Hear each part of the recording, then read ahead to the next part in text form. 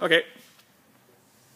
Hello, my name is Jimmy Noble, and this is Jason Anapatuk.